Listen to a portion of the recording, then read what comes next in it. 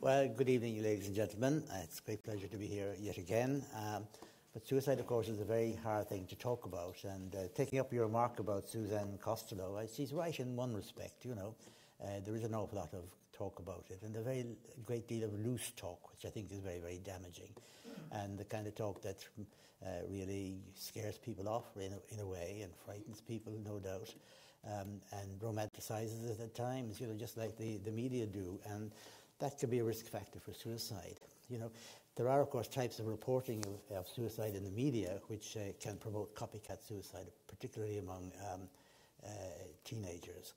Uh, but uh, of course, uh, there is the thought among many of us when we go public uh, to speak about suicide that the more you educate people and the more you talk about suicide, the more likely you are to normalize it and therefore lower the threshold at which people um, might turn to suicide to, as it were, in their mind, solve their problems. So we always have to be aware of this.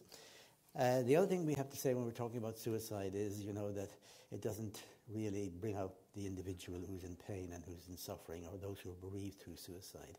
Uh, it's kind of a general thing which doesn't look at the personalities involved.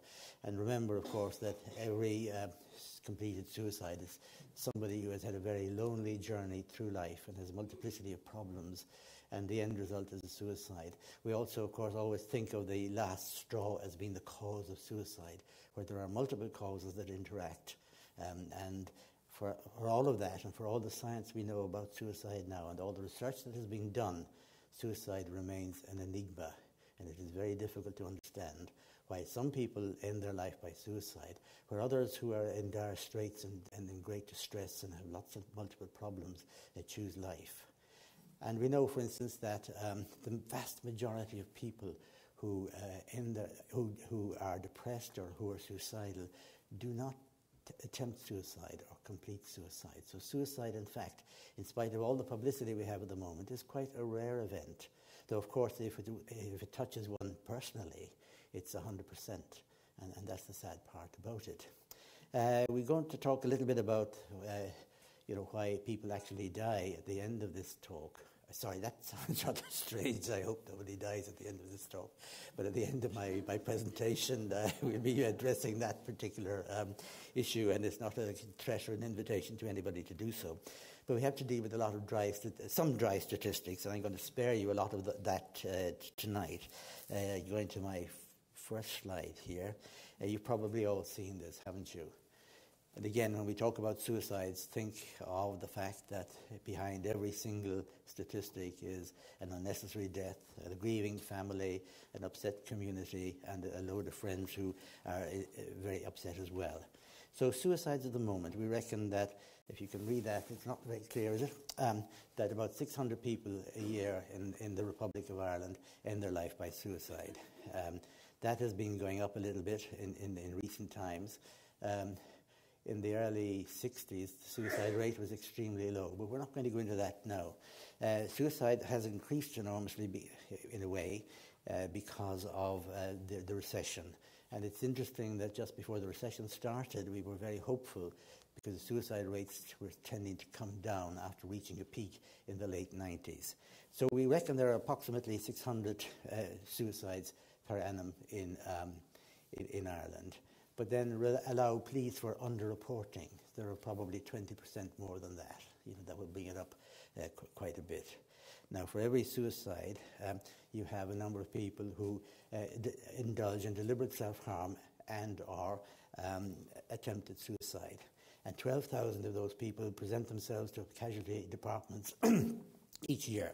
But for all of the people who present, we find that there are probably uh, one in there are seven more who do not present. So approximately 80,000 people in Ireland a year self-harm.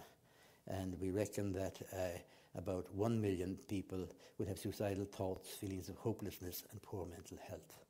Uh, these you can uh, look at again. This is WHO data. Um, these are the kind of, and we haven't had this updated by, the, by since 2008. Unfortunately, nobody's been able to do it in, in, in the headquarters in, in Brussels, but it shows you that we're quite low on, on average uh, well below the average suicidal rate for suicides overall. But the startling thing is, of course, when we break that down into age groups, we find that we have the fifth highest rate of youth suicide in, in, uh, in our, among our European partners. And that's quite distressing, and we don't quite know why that's happening. Uh, nobody understands. Um, I throw that's the main all we're going to talk about statistics really, but I show you this slide to show that um, uh, the while the number of um, road traffic accident deaths has um, decreased dramatically in Ireland, the rate of suicide rates continue to increase, and more people now die by suicide uh, than um, through uh, motor accidents. Uh, why that should be, we don't know, because the same group of people tend to be involved. The people who, most of the people who die by suicide, by road traffic accidents, uh, do so at weekends, just as most youth suicides occur at that time. They're all in the same kind of age group, uh, and so on. So why is this? And this is a kind of platform we have to uh, shout, or thing we have to shout about on every platform, uh, because you know, a lot of attention is given to road traffic accidents and road safety, quite rightly so, and nobody begrudges that. Um, but the same amount of, of, attention is not being paid to suicide. If you look at the actual budgets for road traffic accidents, for road safety, you find it's about, it was about 40 million on the, on the last count, whereas for suicide it was uh, about 3 million.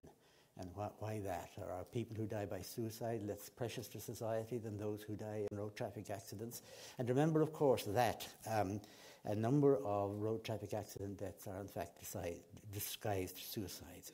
So what we have to do is to campaign to uh, give um, suicide a, a, lot of uh, thought and to uh, hound our public representatives to uh, make sure that it is that suicide prevention is adequately researched and uh, adequately funded. And we get an opportunity of that at every election, local or whatever it might be. Um, this I just show you as a matter of interest of the kind of county suicide rates, which means everything and nothing because you know there is such a thing as lies, damn lies, and statistics, and it depends how you address the the issue. I remember. Um, uh, about 20 years ago, there was an article in one of the British papers saying that the Irish suicide rates for people uh, 15 to 20 had increased by uh, 300 percent but in fact that involved just one, one extra suicide.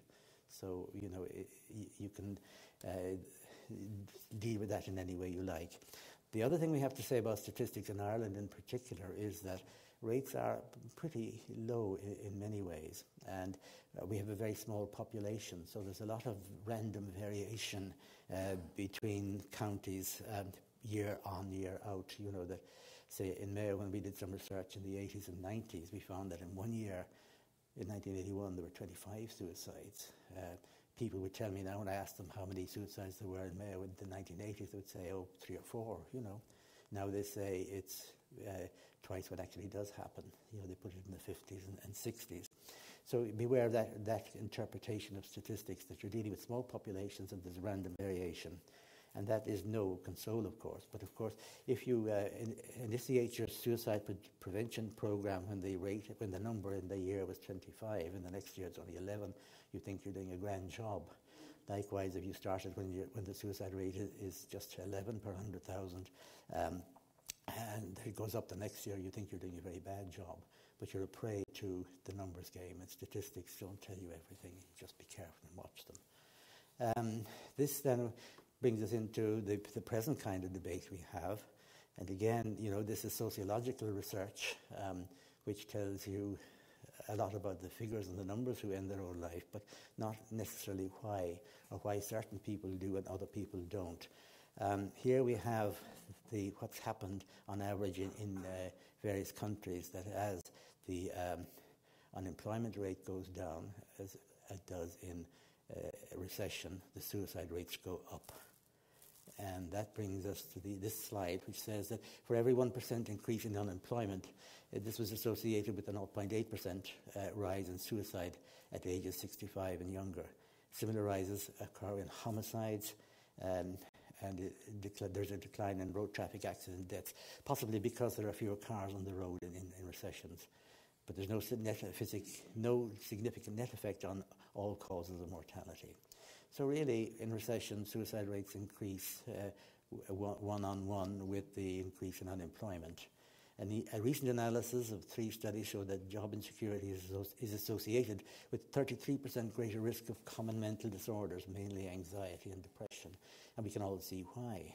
Um, the cause of concern, it, it, I, this is an old slide, and I purposely put this in, you see, because um, it, this, I think we had at one of our conferences the IAS in 19, um, uh, in, in 2008. And we had just heard the report from the CSO at that time that there'd been a 43% increase in suicide rates in the first quarter of 2009. Um, so this conference was actually in 2009. Um, and we were wondering, was, is this going to be a trend? And we hoped that it wouldn't, because we hoped that we had a caring government who would make sure that in times of recession and mass unemployment, that um, the government would make sure that there were adequate social services and actually ag- adequate support for those who were most vulnerable and most needy. But that hasn't happened, as you can see. And not only that, but the services have been cut to pieces, particularly psychiatric services in the community and so on and so forth. And the dream that came with uh, uh, vision for the future has not ever been realised uh, properly as yet, though there are promises that this year there will be more funding available for it. Um, people who are unemployed then are two to three times more likely to die by suicide than those in employment. Uh, that's another statistic which sometimes is hard to, uh, to, to, explain. Uh, this high, this high risk partly because people with psychiatric illnesses and depression particularly are at greater risk of losing their jobs than others.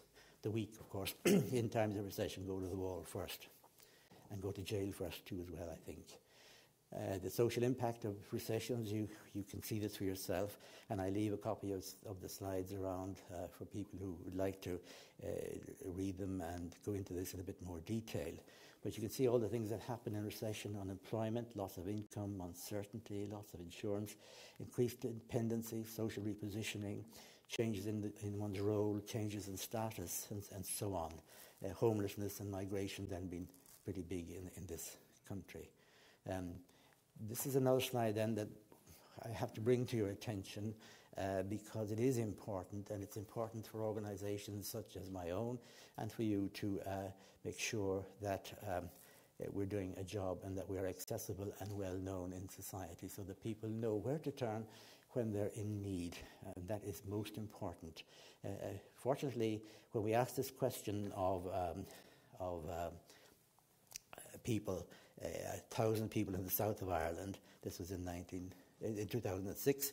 Uh, we asked the question, can you tell me what support services or organisations you are aware of that are available to people who are suicidal? And the, the thing was, of course, that everybody knew about the Samaritans because they have a very high profile. Next was Aware, certainly, certainly in the south of Ireland. The uh, bottom figure there is, the, uh, is for the north of Ireland, where we surveyed 500 people. So Aware has a pretty high profile and probably getting much better now, I'm sure. Uh, GPs and doctors only got eight. I'm not quite sure what the distinction was between GPs and doctors, by the way. Um, counselling services were uh, 7% mentioned them as a possibility for help. I thought that would been much higher because counselling, again, is talked about. There's counselling, after all, for almost everything at the moment, um, whether you need it or not, that is. Um, hospitals and psychiatric hospitals, uh, a very low number there, 6%. Six, uh, I could mention that. Um, psychiatrists got a very bad press, uh, only three. You know, we thought we were doing a good job. Uh, the interesting thing about that is we have the same rating as the clergy. What that tells you about psychiatry and psychiatrists, I'm not quite sure, you know, uh, but it does remain uh, a big issue, and we hope we can do better in, in the future. Um, the Irish Association, well, we had a pretty low one. We should actually take that out, not to shame ourselves. But you see, we do not actually do any counselling. We don't, we don't uh, offer a service to anybody other than information and direct them to worthwhile organisations such as, as your own. Um, others said that. But the striking and important thing which we have to address is that of all the people um, who, who were surveyed, 28% uh, could not name any organization they could turn to if they were suicidal. So there's a huge knowledge gap out there. Um, and when you broke that down, sorry, whoops, when you broke that down into age groups, uh, you found that uh, uh, for males uh, between the age of 15 and 24, 39% of them could not mention one helping organisation. And they are a group that are perhaps the most vulnerable to suicide at the present time in Ireland, which of course makes Ireland rather unique because in most countries, people who are most vulnerable to uh, suicide are in fact um, elderly people, uh, particularly the old, old, which I'm rapidly about to join.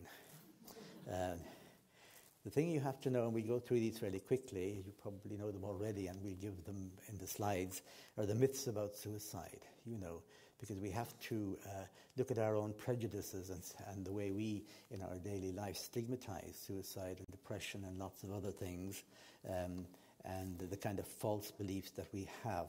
Uh, which I think sometimes make it very difficult for people to get help or to go for help, and they shy away from it. And there is, of course, a tremendous amount of apathy, particularly about suicide in Ireland. You know, that there's a kind of hopelessness. Everybody's kind of enthusiastic about um, uh, preventing road traffic deaths, you know. And of course, it's, there are lots of, of specific uh, practical things you can do about that, like controlling speed and uh, drink driving and making better roads and so on and so forth uh, which you, we don't have anything so clear cut in suicide prevention. It's a much more nebulous thing and much more enigmatic. Uh, but we do have this myth that if someone's going to kill themselves, there's nothing you can do about it. And the fact is, of course, that everybody uh, who ends their life, or the majority of people who end their life, are people who are in great pain. And it's not as if they want to end their life so much as if they want to end their pain. Um, and um, if we have a, a, a, positive attitude towards this and put out the hand to help, I think we can prevent a lot of suicides. So that's one myth that has to be dispelled. Um, uh, suicidal people are intent on dying. Well, that's just not true. It's not a lifetime choice or anything like that. And they say people are ambivalent and life and death are in the balance. But as people get more depressed and more hopeless, their thinking narrows and becomes constricted, and they see only one way out, particularly if they think they're a burden to people and that families would be better off without them. And this, of course, is a very important issue, you know, when people call uh, people who end their lives uh, um, uh, selfish. You know, the majority of people who end their life feel that they're a burden and that people would be better off without them. And that's a very sad state of affairs. Um, talking about suicide encourages it, and that's an issue that our chairperson tonight raised uh, just at the beginning of this talk. Um, and we have to be careful about that. But of course, if we don't talk about it and sweep it under the carpet, uh, we deny people a, a, chance to get help. We, we don't see the problem, and out of sight, out of mind is a, is a catch cry there, which is um, important to, to, deal with. Um, and I, of course, when I qualified as a, as a doctor uh, way back in the year I won't say, um, I uh, certainly believed this myth myself, and I would be afraid to ask people uh, whether they were, they were, suicidal or not. Uh, and I think that was kind of sad, but I certainly learned very quickly that it was important to talk about it because then you opened up an opportunity for healing. So talk. Those who talk about suicide then are the least likely to attempt it.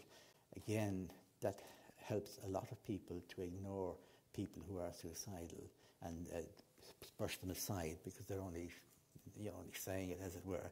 But we do know that about 80% of people who die by suicide will have um, talked to some significant other person in their life, be it a family member or a friend, about their intention, maybe directly or indirectly so that any talk about suicide um, must be taken quite seriously.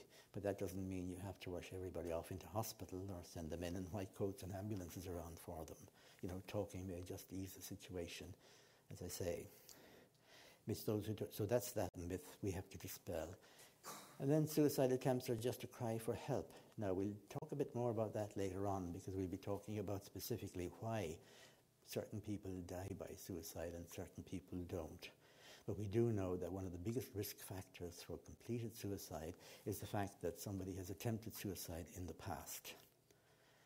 Um, so they're not just cries for help, it must be taken seriously. And of course, again, and I would have felt this when I qualified at first, you know, people who attempt suicide and are brought to, are brought to casualty get a very raw deal. You know, they're people say, well, why can't we get proper, proper, proper sick people to deal with and, and cure rather than these nuisances?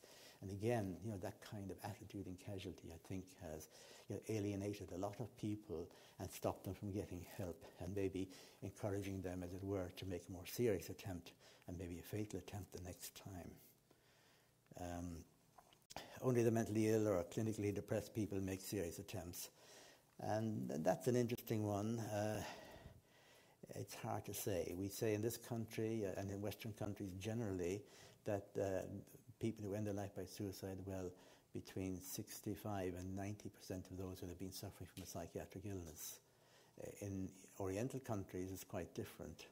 Only about 30% of people who end their life by suicide um, uh, will have had a mental illness of some sort at the time. So, what encourages the others to, uh, to end their lives maybe cultural and economic factors, but we're not quite sure. Um, uh, hopelessness, of course, at, at, the bottom of this slide here, hopelessness was always thought to be one of the, um, the uh, major risk factors for suicide, but we do know now that it's helplessness, you know, that people do not have control over their destiny uh, and over their illness and how to end it. And this was a famous one, of course, a good pumping out in A&E will teach those making silly gestures a lesson they won't forget. And tragically, of course, that is an attitude that remains among many of the professions and among the general public as well. Um, and then another myth once a person is suicidal, they are suicidal forever. The fact is that suicidal feelings and suicidal intent are often of short duration and um, vary in intensity over time. But of course, if somebody is um, uh, taking alcohol, well, that really increases the risk enormously. Um, and then, you know, people go through phases. You have some people in their adolescence who may be quite suicidal, but that leaves them in time and they, uh, they, they solve their problems or learn to solve their problems and their disappointments in, in an adult way in time. Adolescents, of course, are particularly vulnerable in many ways because of their lack of experience of life. And she killed herself because of exam stress. Well, that again is kind of a newspaper heading, isn't it? You've probably seen it from time to time in the press. But again, you know, that's the last straw. We never know what, what has gone before, you know. And the media tend to be very superficial in their reporting of suicide. And there have been some celebrated suicides recently, or clusters of suicide, you know, where the media have really given the wrong impression and thought that you know these were very happy people who just suddenly decided to end their life. And of course, they had many, many problems and difficulties.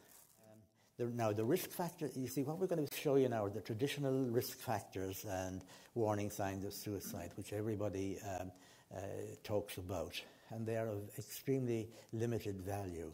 The risk factors which you're going to talk about are many, um, and um, uh, almost everything in life seems to be a risk factor for suicide. So that's not really a great help, but we have to go through them anyway.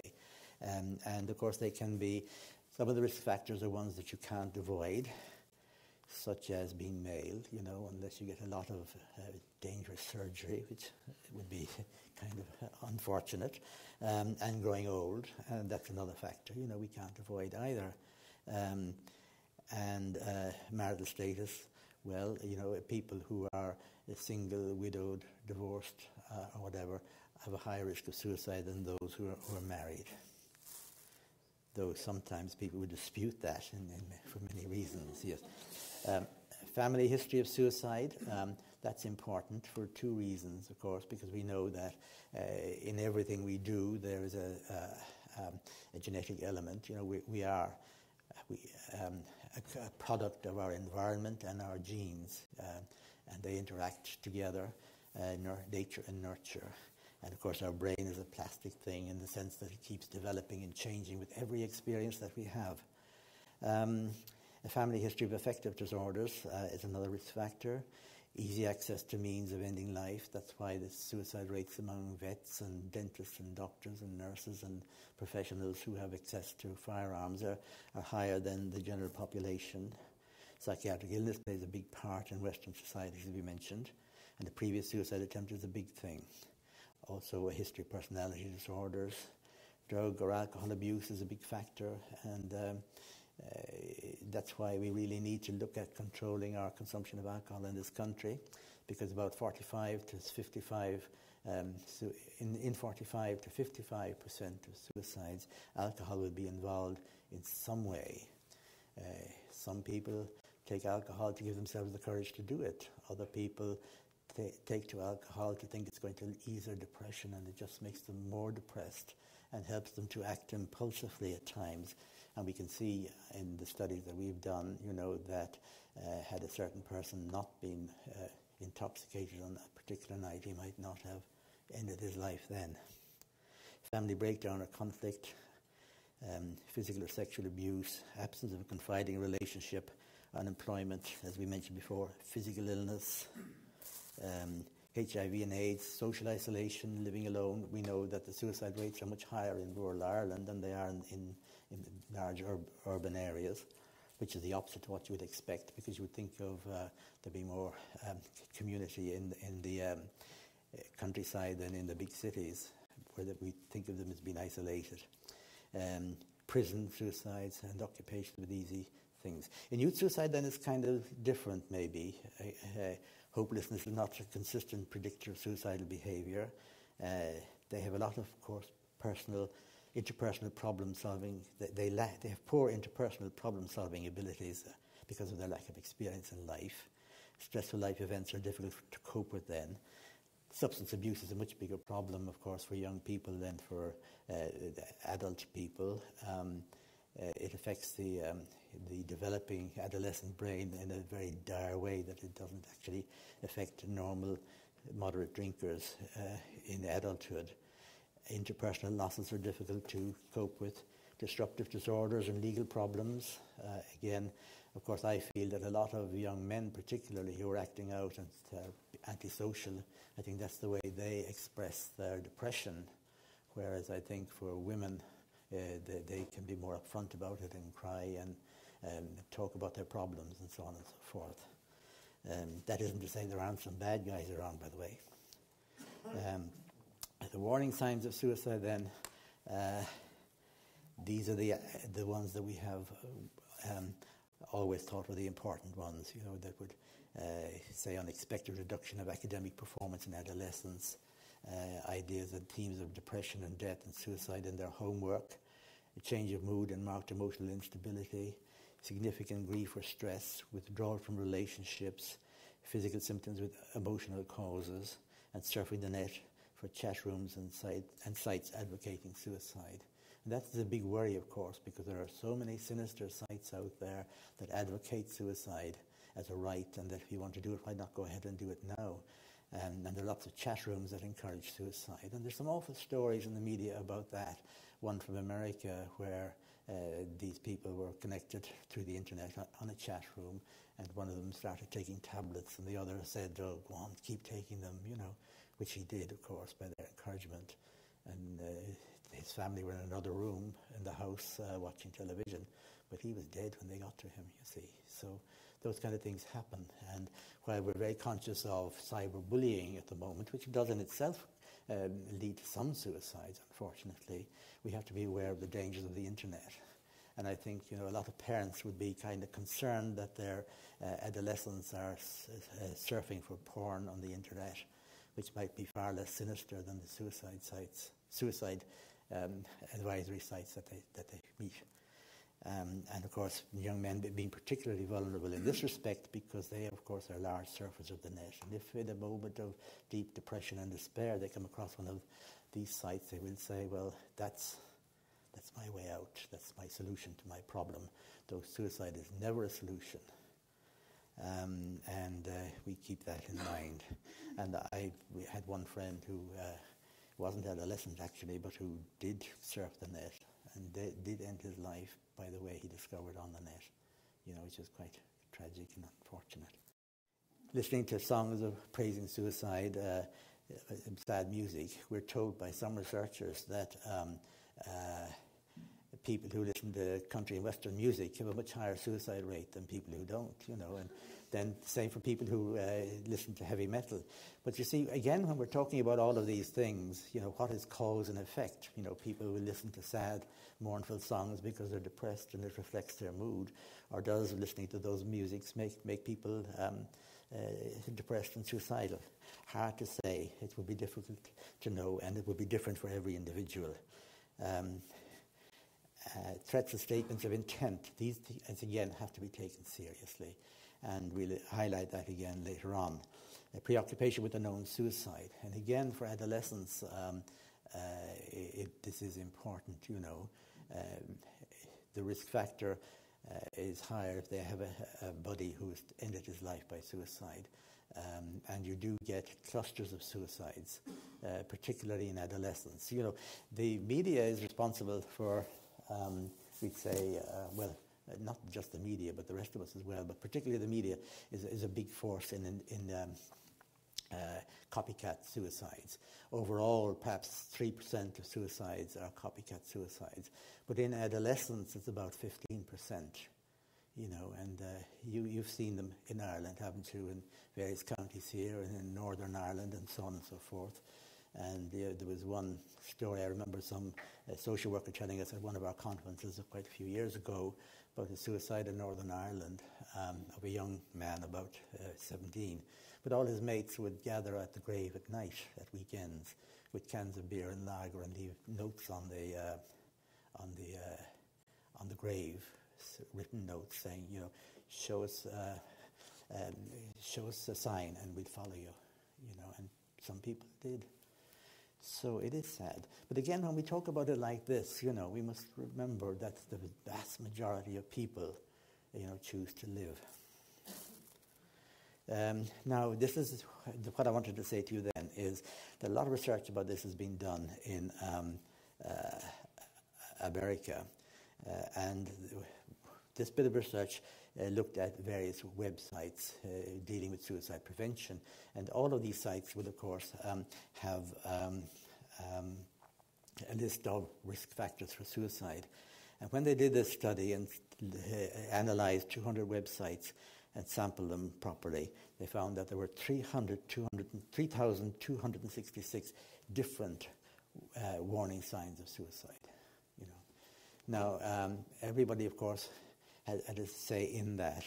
Uh, but I was shocked to hear, actually, that, uh, that some people insisted on putting down as a warning sign uh, talking to grandparents. And they suddenly say, well, I have five grandchildren, what do I do?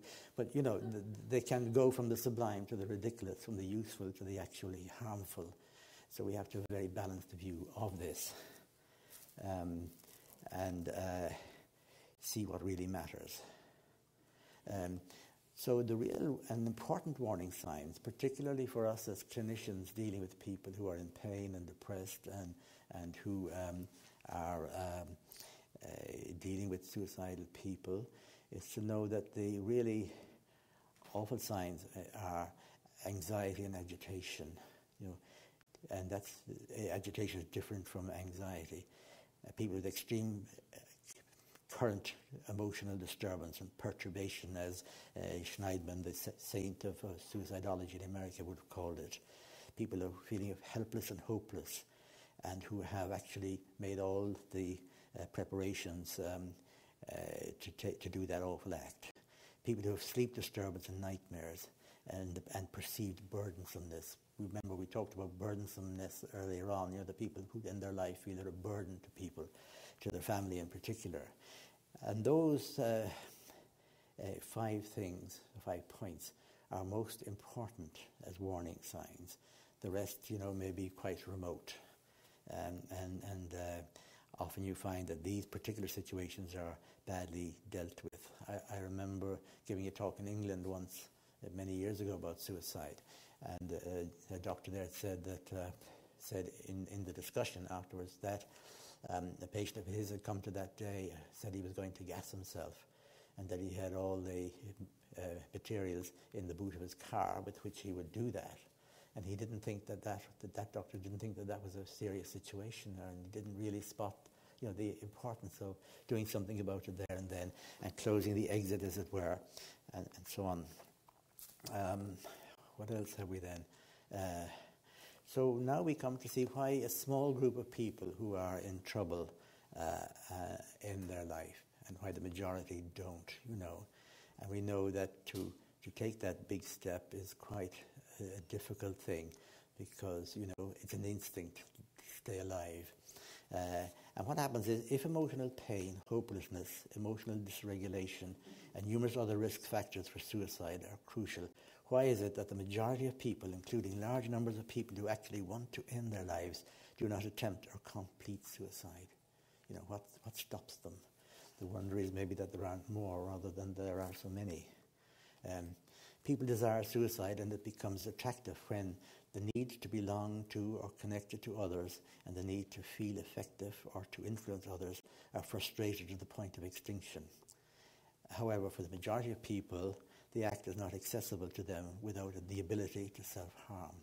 And the ability to self harm is very, very difficult, and it's like a lot of things in, in life. Um, you know, the, the, the first time one self harms, or say cuts, or whatever it may be, is the most difficult. Um, the first time you shoplift is the most difficult. After that, it becomes maybe a habit. And that happens with suicidal behavior. And the more it happens, the worse it's going to be as a risk factor. Um, desire for death is an important factor, though, and often arises from a feeling of burdensomeness to loved ones and others, uh, feeling disconnected and alienated, which we've really said. And that alienation and being alone is uh, really important. It's a very isolated, unhappy place to be. Um, and some people have great ability to disguise that, and that's why we see so many suicides. People say, oh, well, that person was the life and soul of the party, and they have managed, as it were, to hide what's going on inside and put on a mask. Uh, and the thing that happens then is when people get used to dangerous behavior and lose the excitement that exists when, they're in the, when there, there is danger, the groundwork for catastrophe is laid down and suicide risk increases. You know, again, you find that a, a lot of um, uh, people who end their life by suicide uh, will have indulged in some sort of reckless behavior beforehand, like driving dangerously or taking huge risks that they normally wouldn't do. You know, I've had a few people, for instance, um, who um, uh, have driven cars wildly along the narrow roads of Ireland, hoping they would meet with an accident, um, and not caring whether they lived or died. But they lived to tell the, the tale, and I have no doubt, I have no reason to, to doubt what they were saying. Um, uh, this is the other thing then, you see, we say that suicide is a selfish thing or a cowardly thing or a sign of weakness. And Cato, the famous uh, Roman poet, um, uh, was said, was said after suicide that that was a sign of his weakness. Um, I think he was actually forced to kill himself by the emperor of the time. But Voltaire then said, None but a strong man, and I presume woman, can surmount the most powerful instinct of nature, and that is the instinct to live. And, um, and we often see this then. Um, people who have hurt themselves before, either intentionally or accidentally, overdosed, practiced uh, tying nooses, or subs- uh, are substantially at risk. Also, those who have surfed the net for methods, we've mentioned that, so we needn't dwell on it here. Um, some who have survived these multiple medical serious suicide attempts, cutting, hanging, burning, and overdose. Uh, one such person said that the thing is, your body tries tried to keep you alive no matter what you do. And that was one woman who had attempted suicide by trying to burn herself, uh, to cut herself, and that. And no matter how, she couldn't really bring herself to cut deep enough. But anyway, she said that the, the veins just closed up and the blood clotted, and she didn't bleed to death as she had wished. You see, so that's the sort of thing that that can happen. So, and you have a lot of evidence of that. Um, uh, and the sad thing then is, you know, that uh, we've had experience of this, that many people who attempt suicide by ingesting paraquat or by chloride of mercury, that may survive the initial horrible experience, um, which is really bad. Then they recover for a small period and they strongly desire to live. But unfortunately, in the majority of these cases, uh, there's a second phase of the illness as a result of the poisoning, which leads to death. And it's, it's very tragic just to watch that, that somebody who's made that attempt and uh, survived for so long, and then maybe up to 30 days in some cases, and then dies because of what they've done, regretting it really very much. And that brings me to that slide. I'm sure some of you here will have um, seen that DVD, The Bridge. Have you? Anybody seen that? Where they um, did some research uh, uh, on suicide on the Golden Gate Bridge, and um, they found, I think, about 13 or 14 people who would survive that drop, and very few people do because it's so high. Um, and this is the story of Baldwin, you see, on the bridge. Baldwin counted to 10 and stayed frozen. He counted to 10 again and then vaulted over. He said, he obviously survived. I still see my hands coming off the railing. Um, as he crossed the chord in flight, Baldwin recalls, I instantly realized that everything in my life that I had thought was unfixable was totally fixable, except for the fact of having jumped. There was just no going back. And you just wonder how many people who do these kind of things uh, regret it when it's actually too late and there's no chance of survival. So we must. That tells us again something about suicide and the dilemma and the ambivalence of the whole thing and the fact that it's about ending pain and suffering rather than just dying. Uh, and what, well, the other kind of thing we, we have to take into consideration, and as, as doctors we must do this clinically, when people present you know, many people who die by suicide appear to engage in short-term practice, either in thought or deed, for instance, in overdosing and cutting. And, and that's something we have to explore when we're taking a history of somebody who's currently suicidal or distressed in any way and not be afraid to ask about suicide and to do something about it. Uh, the other thing then, of course, is about people recovering from depression, uh, which is a very, very serious illness. And, and uh, the lay public don't really realize that. I'm sure everybody in Aware does. Um, but people can be so depressed that they can't, they can't work out a plan to end their lives or don't have the energy to do it. But there is that kind of window of heightened risk if somebody recovers from their depression when uh, their, their mood may still be very low, but their physical energy and concentration has returned a bit. And that's a, a danger sign. And that's why sometimes we say that the, when somebody's hospitalized for depression, that the greatest time of risk for suicide is in the first week or 10 days in hospital and of course on discharge or being on leave as well. Um, what else? We know that from research, again, that multiple attempters stood out from others in terms of severity and medical seriousness of the event of the, of the suicide attempt. And they had more practice at suicide and were therefore more likely to do it. Those who are more impulsive are more likely to have engaged in substance abuse, but not always. Um, the other thing then is that other kinds of abuse, physical and sexual, habituates the victim to pain, to be able to endure and suffer pain, and lowers the threshold for self injury. So, again, as I was saying, if you have been hurt once or you've been in a lot of pain, whether it's from self inflicted wounds or surgery, uh, you can deal with pain a little bit better. It doesn't bother you so much, so you you can be then in danger. Um, decreases people, the abuse, of course, also decreases people's self worth and increases alienation. Uh, and all kinds of violence, directly or vicariously, that's watching it or seeing it happen, as in wartime, for instance, habituates people to pain, provocation. Um, a life history of aggression differentiates adolescent suicide victims from matched controls, even when differences in mental disorders are accounted for and what they call accrued lethality, i.e., suicide attempts tend to become more dangerous as the individual's suicidality career progresses, you know, and then you see that again in a lot of people. So it's being aware of all those things. Um,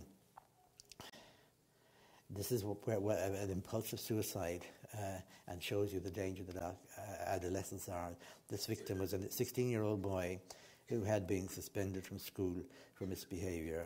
Mother grounded him and got in, uh, they got into a loud argument. He ran from the room, slammed the door, went to the basement and shot himself with his father's rifle, and he had no known psychiatric history of any sort. So adolescents can be very impulsive.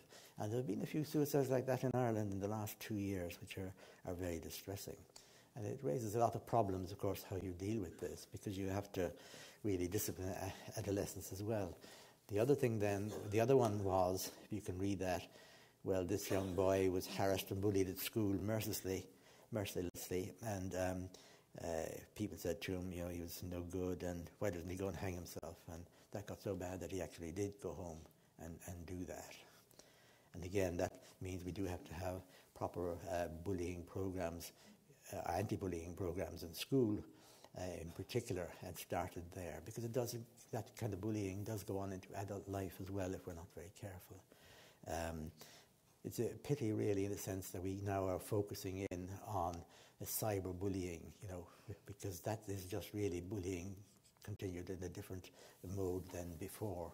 But you know, we have to deal with bullying in general, and schools must address that. And of course, the problem with that and with suicide prevention programs in general, with bullying pro- prevention programs, is often, you know, everybody will say, "Well, we have this program uh, in our school or in our hospital or whatever." But it's just a, a notice on a wall, really, and not implemented properly in, in some schools, but some are absolutely marvellous. Um, well, then, what kind of treatments work? Um, and we look at that again, you know, but in the immediate time uh, that the person is in, in trouble, we need to talk in simple and understandable terms about suicide and mental health and diagnosis and all the rest of it. And that tends to be something that professional people uh, are quite uh, um, inept at in, in many respects, not everybody, of course, um, that we talk, as it were, in a bewitching or bewildering kind of jargon that confuses people, and there is no need for that, you know. Um, uh, and as professions become more established or systems of counselling be- become more established, their jargon grows in many ways and they become mystifying rather than simple. So we need simple language and, think, and, have, and articulate treatment models and suicidality as targets, you know. Um, we have to deal, I think, first of all with the immediate thing rather than spend too much time going into the distant past, which the patient knows about anyway. And we're not going to, con- uh, to produce anything very new. Uh, we make, make sure that people, uh, patients, are responsible uh, and can understand and invest in what has been offered and comply properly and be motivated to undergo treatment. Um, and we won't go into the various kinds of treatment at the moment, but there are many and varied, and all of them complementary, really. Uh, we have to facilitate hope, um, but that doesn't mean telling everybody th- that things are going to be okay. And we have to give people, of course, a sense of control over their destiny. And lo- losing control, I think, is something that happens to almost all of us when we go into hospital to have any procedure done, whether it's a hip replacement or, or depression treated or whatever. Uh, we adopt the role of patient rather than person. Again, we have to reduce guilt and shame, which are big factors here. Uh, people that are suicidal have generally poor skills, but not universally so. Uh, skills deficiency, we must look at training them, uh, targeting um, not just the symptoms, but address the kind of uh, skills that they need to have as people in society, uh, and address issues, if any, of developmental history and vulnerability. And of course, above all, deal with stigma, which I think still inhibits us quite a bit in Ireland. Um, uh, again, we have to be very careful, you know, because a lot of people drop out of, of treatment when people drop out of treatment or are non-compliant, action needs to be taken. Uh, treatment compliance closely monitored and addressed. Motivation, ambivalence, and the intent to die examined. People need to take ownership of their treatment, uh, address, address self-reliance, self-awareness, and individual control. Uh, commitment to treatment is important. People to know what to do in a crisis and many people don't, as you saw from that earlier slide, you know, where people don't need, don't know where to, where to turn in a crisis. It's interesting, isn't it, that of those, this is about the USA indeed, of those who die by suicide each year in the United States of America, approximately 14,000 are in treatment at that time, you know. So do we say that's failed treatment or whatever? Um, or uh, was it partially effective? And how many people were saved by treatment? You know, in America, about 30,000 people a year end their life by suicide, and about 18,000 of those use firearms, which are pretty lethal. And you think that if the Americans had the same gun law, um, that might be avoided, you know, because if you if you use a weapon like that to end your life, there is no turning back. It's uh, more dangerous even than jumping off the Golden Gate Bridge. Um, recognize that uh, opting out of treatment represents persistence of hopelessness and intent. Um, the issue of per- personal responsibility for care is gone.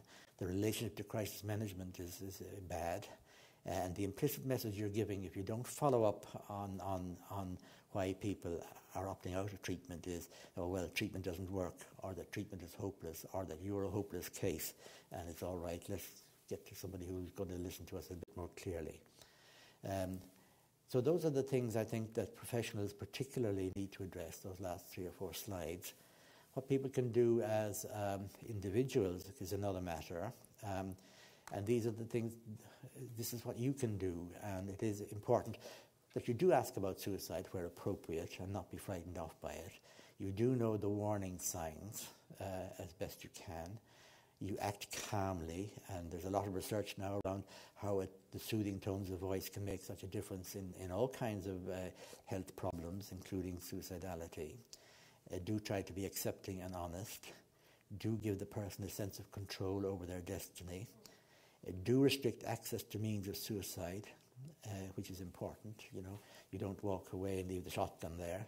And do get help. And above all, know your limitations and know when to get help. That's quite important. Um, in a crisis, don't panic. Don't ignore the signals. Don't promise secrecy. Don't leave the person alone. Um, don't debate the morality of suicide because people, you know, who are suicidal and on the point of suicide um, are in a very dark place uh, and have given up on morality, even if you like, you know. So that's unproductive. Don't tell the person to be grateful for what they have. Um, um, don't say that everything will be all right, um, because it may not be. You know, the old thing we had uh, was that we described suicide as a permanent solution to a temporary problem. But of course, that's wrong, isn't it? Because, first of all, suicide is not a solution to anything. And secondly, the person who has problems may have permanent, enduring problems, enduring psychiatric illness or whatever, that isn't going to go away. So you, you know, you can't go down that road. And don't challenge that person to go ahead. Uh, and people think that that's the thing to do. Oh, well, if you want to do that, go and do it and stop annoying us or whatever. And there's been some very tragic stories about that. There was a case in uh, Los Angeles, uh, no, sorry, San Francisco, I think uh, the year before last, where there was a guy standing high up on the ledge of a building threatening to jump. And uh, a lot of people gathered around looking at him. Now, he was there for a good half hour, you know, and he sort of would move forward as if to jump and uh, move back and backwards and forwards, which showed actually that he was quite ambivalent about whether he was going to die or not. But the people there were shouting and jeering at him and, you know, um, uh, saying, why don't you jump, you know. Uh, I think one guy shouted, I want to go home for my tea or dinner or whatever it was. Uh, eventually he did jump, you know. But nobody had the wit really to get somebody to talk to him and talk him down. And uh, that was a, a, kind of period of half an hour or longer where something positive might have been done to help that man uh, take another course of action than jumping. Um, there's another awful story from uh, um, uh, Hong Kong, it was, um, where, um, no, no, in, in Hungary, the, the, Hong Kong one will come later, where um, somebody was on the bay, one of those big water towers threatening to jump uh, policeman, and there was a crowd gathered, and uh, a policeman went up and chatted to him and talked him down, right? And they were coming down. The man was going to get help and everything. When somebody in the, shout, in the crowd shouted, coward, and he climbed up again and jumped, you know. Now, the other thing we said in what you don't do is do, don't do nothing and don't leave the person alone if they're extremely suicidal. Um, um, uh, there was the other story from Hong Kong then where uh, the um, classmates of a, of a boy and a girl uh, who were in love and the parents didn't approve of it. It was a Romeo and Juliet kind of scenario. they had, the classmates got wind of it that these that this couple were going to jump from a building and end their life that way. And they um, um, followed them and pursued them and got onto the roof where the people were, the two people were and they talked them down. They all had a long, big chat and buddy buddy at the on the pavement outside the building, and they all went their separate ways. And the couple went back up the building again and jumped, you know. So remember, if somebody's in very serious trouble and very seriously suicidal, you don't leave them alone. The problem about this, of course, is um, that uh, you, you, you mustn't panic. Um, and the majority of people you, who will talk to you about suicide will not do it, but they will be glad of somebody to talk to and somebody to help them through that particular crisis. Um, and most people who are talking about suicide do not need hospitalization. They may need counseling and support, or they may need medical attention for illness or depression or whatever. Um, and the combination of all those things would be very important. But those are the things to remember. Um, these are the last kind of thoughts that we need to address. You know that we we need uh, we know that the things that probably work to reduce suicides in general uh, are the treatment of mental disorders. So again, you know, it is sad that the vision for the future has never been implemented, and that too many of our psychiatric institutions are still in the dark um, Victorian ages, as it were, and that there is such a disparity of services between various areas of the country. You have the good, the bad, and the ugly, as it were. You know, some of the most excellent services, and some that are really quite poor for lack of funding and lack of personnel. Training of primary healthcare personnel along the lines we mentioned is very important. Helplines and crisis centres seem to work, as do school-based programs. But school-based programs have to be really um, uh, all-embracing. It has to be in a health promoting school. Having people go in to give a once off sort of lecture about depression or suicide is ineffective. And talking about suicide as a once off to a group of adolescents may do more harm than good, as research in the United States would show. Um, restriction of access to means is really terribly important, you know, and it's again just illustrated by, would be the American um, experience of uh, suicide by gunfire. Uh, and uh, that would make a big difference if the guns were restricted there. Uh, but of course, as the common means for suicide in Ireland are um, hanging and drowning, it is very difficult to do anything to restrict access to those means, though we can have um, uh, barriers put up in, in, in danger spots. Uh, uh, improving the media portrayal of suicide is important. Um, dealing with the social causes of suicide, combating stigma, ensuring equal access to health, long-term multidisciplinary research, which is badly needed, creating equitable, equitable access to education, because those who drop out of education from bad schools are at high risk of suicide from those who complete, compared with those who complete uh, uh, their education, and deal with the problem of violence in society, and so on. Many of these, of course, are merely aspirational and in times of uh, recession, when money is short and services are becoming uh, um, more and more difficult to access and poorer and poorer because of the uh, many uh, highly skilled people who retired uh, or being forced to retire early, um, things will go wrong. That we were losing a lot of skills in that sense in all our hospitals and services. And that's it. But we do have a list of books here. Um, which you might find very interesting. And of course, you'll have a list of those afterwards. Um, and these are the, the, the, first ones here, the three are the latest ones. Uh, Why People Die by Suicide has been one of my enlightening books of the last 12 months, as has this man, Joiner's um, myth, uh, myth about Suicide. We're hoping to have the, uh, the uh, annual general meeting of the Irish Association of Suicidology uh, on the 9th and 10th of October next in Derry in, in uh, uh, partnership with Connect Northern Ireland. And we hope to have this man as a, as a, as a, a speaker. Philosophy for Life and Other Dangerous Situations by Jules Evans is a, an amazingly readable book and very simple. And it shows you that you know, the origins of a lot of what's done in counseling today, like cognitive behavioral therapy, started off with uh, the ancients, like Epictetus, a slave uh, philosopher in Rome, uh, who made a statement which I think uh, was the start of cognitive behavioral therapy. He said it's not events that harm us, but the way we think about them. And it's about how we can learn through basic philosophy and not be frightened of it, but learn how to lead uh, a, a, proper life and control our uh, proclivities for damage to ourselves, etc. Uh, we could, we won't mention all the others. There really are quite a, a large set of books here that are worth reading. Um, uh, Stop Thinking, Start Living is a nice book for dealing with negative, negative thoughts. Um, Man's Search for Meaning by Viktor Frankl is very important as well. Uh, this is uh, logotherapy at its best, and uh, the mindful way through depression. So there we are. We leave it at that. I don't know where that came from. And thank you for your attention, and I hope you'll remember some of it. You do know, of course, according to American research, that uh, if you attend a lecture like this, how, how much of it do you retain afterwards? Sorry? 20%. No, seven. Right, okay. We...